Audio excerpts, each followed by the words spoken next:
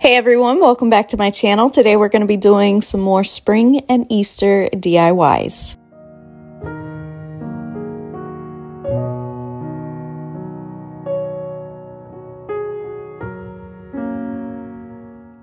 This first project, we're starting out using some of these wood eggs that I got from Amazon. You can use plastic eggs if you want for this project. It really doesn't matter. But all I'm going to do is start painting some of these with some pastel colors. I mixed up this really pretty pinkish kind of purple color. And then I'm also using some moss green and a couple of these I'm going to use some antiquing wax and just brush it on and then wipe it off with a paper towel. Then I also ended up using a color called Warm Buff and this is actually in a satin finish. I kind of liked that some of these were going to be matte and some of these were going to have a little bit of a shine to them. And I'm really sorry if you can hear in the background sound of this voiceover. It is absolutely pouring rain and it is really loud, so I'm sorry about that. But back to this project, I wanted to use some of my Dollar Tree rub-on transfers to kind of decorate these eggs. And before I start doing this, I also wanted to mention the main reason I wanted to use those wood eggs is because I only did one coat of paint on these and you can kind of still see the wood grain. I also forgot to mention that I did leave some of the wood eggs, just the raw wood. So now I'm just decorating these eggs with rub-on transfers and these are actually my favorite Dollar Tree rub-on transfers, the ones on the parchment paper. They are a little bit difficult to work with and do move around and they don't really stick like the other ones do, but they turn out really beautiful and they're so easy to just use your nail and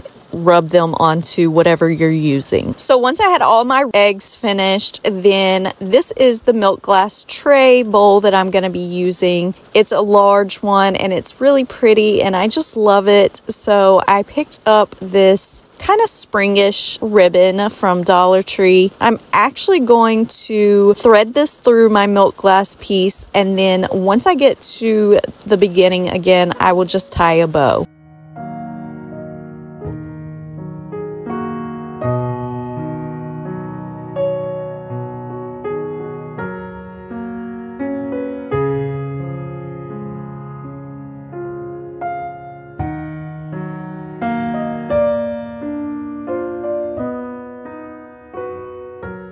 This is another super easy project. I found this old oil lamp at the thrift store and of course it's old and not really useful for its original purpose. And it was also missing the glass top. So I wanted to upcycle this and reuse it and repurpose it for something different. So I found these dried florals on Amazon and you get a ton in this little pack. It also comes with little tweezers to help you place these pieces. So that's exactly what I'm doing here. I'm just picking out a bunch of flowers and greenery pieces that I liked and mixing them up, placing them inside of this old oil lamp.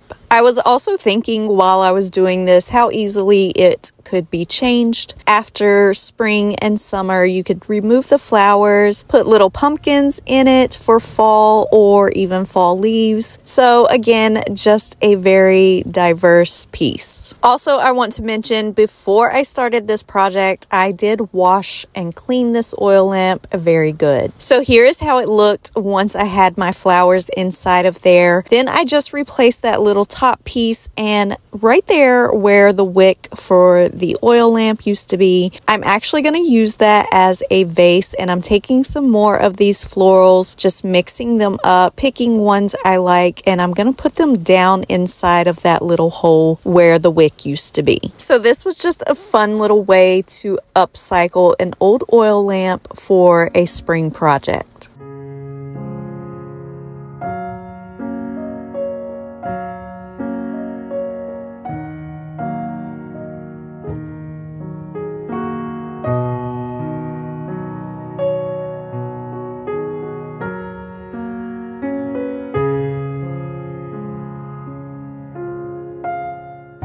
I found this really beautiful chunky wood frame at the thrift store and I knew immediately the project I wanted to do specifically for this frame. So I'm starting out by just cutting down a piece of Dollar Tree foam board to fit the frame and I have been absolutely loving sketches, artist sketches, any kind of sketches really. I'm just really obsessed with those right now, especially sketches that are done on canvas. So I'm using a piece of drop cloth that I cut down to fit over my poster board and I'm using some Mod Podge and doing small sections at a time and smoothing this drop cloth over my poster board. Now I also left a little bit of excess canvas on the edges of the poster board so I could flip this over and just cut those corners and then I'm able to fold up the excess.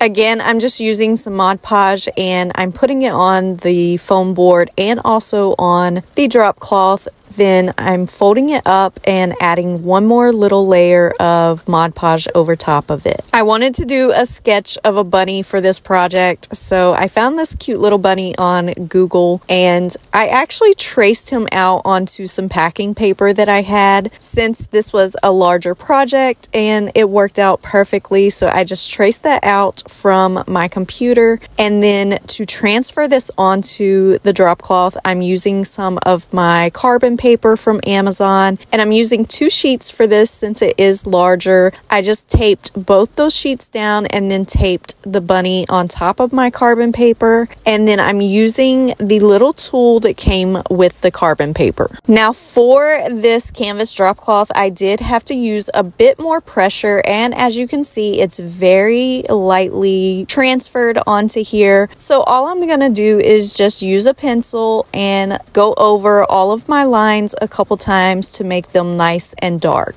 Once I had traced over it again, then I'm just going to start going back in and adding some little details. I added some darker fur to his chest and then added some little paws for him. I also added in back his tail, which I didn't do from the transfer paper. Now, at this point, you could totally be done with this project, but of course, I had to add just a little more extra stuff. So I'm very, very lightly kind of making shadows and highlights around him. And then I'm also going back in and just barely brushing my pencil over this to kind of shade in the entire bunny.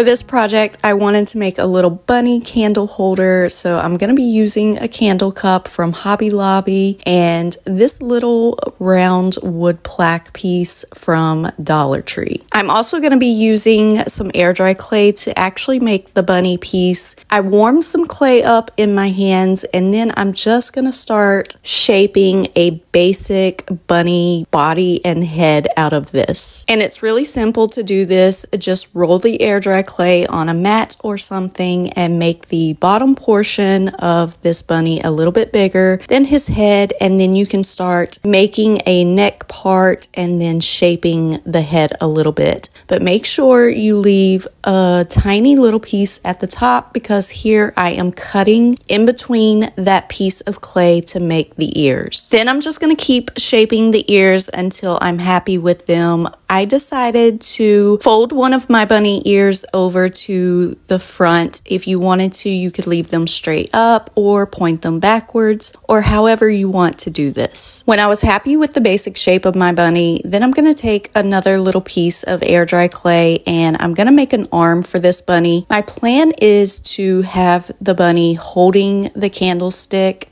So I'm going to end up making two little outstretched arms with some more air dry clay. And to kind of see where I need to put his arm, I'm using the actual candle that I'll be using in this candle holder. Then for now to attach his arm, just for the time being until I get the other arm on, all I had to do was just use my finger and lightly smooth out the clay into the bunny body. Then I'm going to work on the second arm and for this arm I wanted him to be reaching a little bit higher on the candle so that you would be able to see it from the front side. And again, to attach it for now, I am just smoothing that clay together. Then I'm going to go back in and just work on his body a little bit more. I wanted to kind of push in his stomach area so it gave the appearance that the bottom part were his feet. And then once I had that finished, then I will go back in, use a little bit of water on my finger. I'm going to smooth out any rough spots or cracks and I'm also going to go over his arms to make sure that they are nice and secure on his body. I also wanted to add a little tail to the backside of him. So I'm just taking a tiny little piece of air dry clay, rolling that into a ball, and then using the water to attach it to his backside.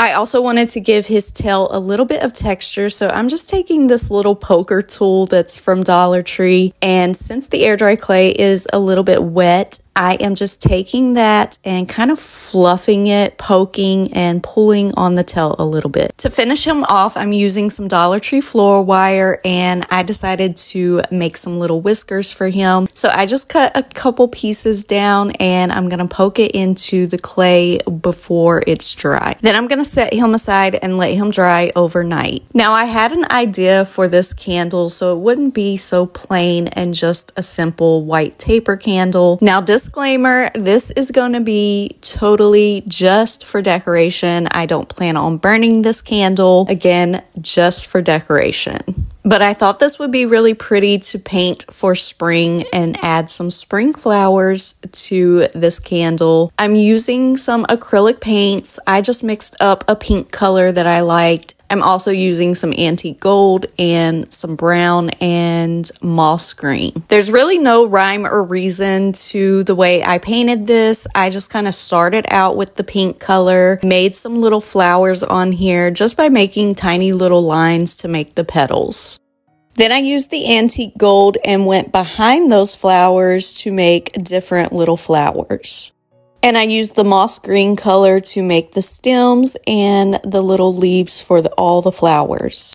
Then I went back in with a tiny little paintbrush and used my brown color to do the center little pieces of those pink flowers. And to finish the candle off, I'm just going back in with some of that antique gold and a small little paintbrush and filling in all the little empty spots just by making tiny little gold dots everywhere. The next day, once the bunny was completely dry, then I used some gel super glue to attach the candle holder and then used gel super glue to attach the bunny as well. Now I wanted my candle holder to be bronze or brass looking. So I'm going in to start with and doing one coat of my apple barrel acrylic paint in the color burnt umber. It's just a deep dark brown color, almost black, but not quite. You can use black if you wanted to, but I'm going to be using some rub and buff on this. And the color you put underneath your rub and buff will kind of show through a little bit. So I wanted to make this more of a brassy color. You can see here as I started doing the rub and buff, you can kind of see that brown undertone on here and that's exactly what I wanted. So I'm just using a little brush and and some of my European Gold Rub and Buff, and I'm going to go over this entire candle holder. And that's going to be it for today's video. I hope you all enjoyed it. Thank you so much for watching. I'll see you next time.